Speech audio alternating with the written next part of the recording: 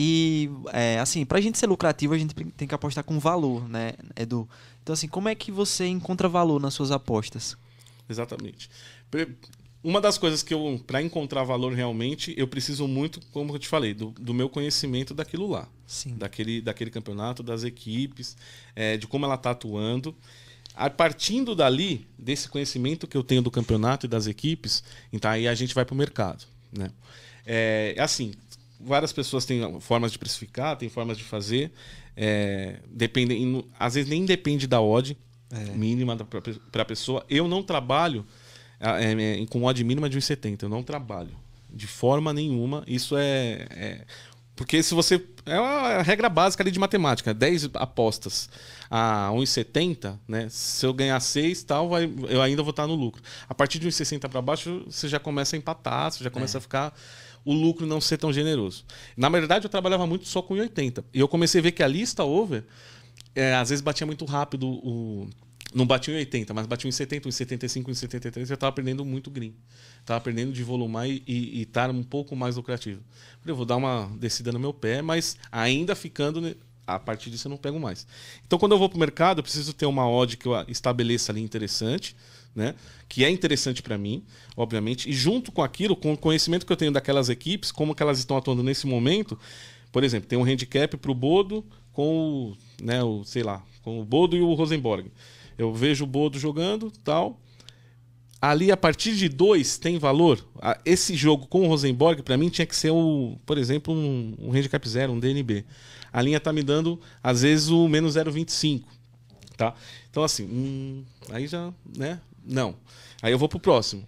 Eu vou, eu vou tentando analisar dentro do conhecimento que eu tenho das equipes Sim. qual é o melhor é, qual é a melhor aposta a se fazer ali dentro do. Eu não utilizo muito a precificação, é, por exemplo, o Paulinho. O Paulinho tem uma precificação maravilhosa. Você tem uma precificação. Eu não utilizo, eu utilizo muito do conhecimento que eu tenho do campeonato das equipes realmente. Então, para mim, se aquela equipe é favorita e está me pagando a partir de 1,70 para cima e eu realmente vejo valor para aquilo, eu aposto. Eu sou dessa forma. Então, para mim, ah, aí tem também as linhas, né? Obviamente, eu peguei agora handicap da Lazio. A Lazio, para mim, era para estar tá ali, é menos 0,25 Lazio. Tava no handicap zero. Falei, eu tô uma linha abaixo, eu tenho, para mim tem valor. Então, no handicap, eu começo a trabalhar dessa forma. Era para estar tá em tal linha, o mercado tá me dando tal. Então, se era para estar tá no, no DNB, o mercado tá me dando mais 0,25, eu pego. Se tá no menos 0,25, o mercado tá me dando DNB, eu pego. Eu tento trabalhar dessa forma. Eu tenho, é, obviamente, dentro, voltando do conhecimento do campeonato das equipes. Se eu conheço, os principais jogadores vão jogar, eu sei a forma que aquela equipe joga, dentro ou fora de casa, né? Tem equipe que, que varia. E o mercado me dá uma linha aceitável dentro da minha odd mínima, eu pego. Eu vou bom. que vou. Quem quiser comigo vai. Se não quiser, fica na próxima. Você faz um julgamento da, da partida da odd, né? Antes mesmo de ver o mercado. E aí, se o mercado estiver oferecendo aquilo que é, que é uma, uma coisa melhor do que o que você precificou, você Exatamente. vai lá e aposta. Exatamente. E você falou um negócio interessante também na questão da odd, né? Porque assim, muita gente fica pegado na questão do 1,80. 1,80, 2,20. 1,80, 2,20. Assim. E fica enraizado isso no, no, apostador, o cara fica com esse. Fica meio preso. Uhum. Porque quando vê muitos greens passando com odd de 1,70, 1,70, 1,70. Eu acho que isso tem muito do, do, ajuste do mercado também, né? E eu acho que já passou esse tempo, o cara tem que ver até onde vai. Uhum. Quanto dá para descer ali 1,70, 1,70, eu chego a fazer 1,60 também. Justamente por isso, porque não, aqui tem valor, tá, tá baixo, mas é uma linha de valor, então aqui eu tô protegido. É muitas vezes pegar um mais 0,75 ou mais um. Vou pegar o mais um, porque se sair um gol do outro lado, eu tenho um void aqui, né?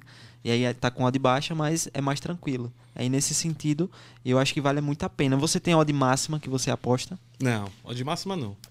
Mas assim, é muito difícil também. Como eu é, trabalho na linha, né? Na linha de gols às vezes para buscar ou nas, nessas linhas de handicap, é difícil você ver, você nunca, na verdade, você nunca vai ver eu fazendo handicap muito esticado. Nunca.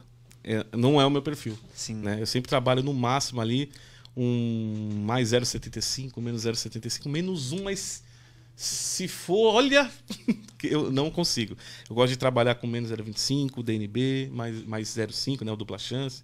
É, no máximo nessas linhas aí. Então você nunca vai ver esticando muito essa linha. Como eu não estico muito a linha, dificilmente dentro do mercado de gols ou no mercado de handicap, é, você não vai ver a odd alta minha. Sim. Tanto que é difícil, eu acho que odd alta que eu postei, às, às vezes o pessoal pergunta, qual a sua odd alta? É. Sua maior... A minha maior odd foi no após FC na Champions League que eu fiz dois placares exatos. Deu odd 78, eu Caramba. Acho. Eu acertei dois placares exatos na semifinal. Você sugeriu para o pessoal? Isso, falei, ó, pessoal, vou entrar no recreativo, hein, e tal. Pessoal, beleza, né? O Gaspa até brincou comigo a gente, eu cravei os dois resultados naquele dia. Ser 68 ou 78. Chegou muita gente falando assim que, ó, oh, ganhei no seu palpite, ganhei, ganhei. tanto. Os cara, tem um cara que veio com em euro. Falei, nossa, pai, você tá feito, hein? obrigado, obrigado. Nada, manda alguma coisa pra mim, você tá louco? Ó, de 70 é difícil. Oh, oh. Assim, foi a maior odd, porque eu não trabalho realmente. As, as minhas maiores odds é de forma recreativa em jogador para marcar, que eu hum. amo, né? Desempenho de jogador. E é... agora tá abrindo cada vez mais no tá futebol, né? demais, né? Tá muito legal. Eu fiz uma brincadeira semana passada com o MV. Foi?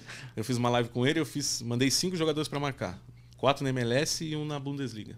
Os cinco bateu. Caramba. E ele fez. Aí ele até brincou, ele postou. Ele falou: tô te devendo uma cerveja. aí a galera que tava na live pegou, tá? a gente fez na live, fiz na live. Eu tinha feito antes e eu falei: vou levar só pra live do MV. E bateu, mas é algo, é algo difícil, né? Sim. É, mas assim, por, eu me sinto seguro e confortável de fazer por conta disso. Do que eu, eu, pelo meu conhecimento que eu gosto de ter né, das equipes de jogadores. Hum. Então eu pincelei cinco jogadores que para mim tinham a possibilidade, que são jogadores também. Não, não é também aleatório um Sim. jogador para marcar. É, ele tem que, para mim, ele eu tenho que saber a média de gols dele, eu tenho que saber também o tempo que ele joga. Esses cinco jogadores que eu, que eu coloquei para marcar, nenhum deles foi substituído. Olha que só. são jogadores que normalmente jogam de 85 a 90 minutos.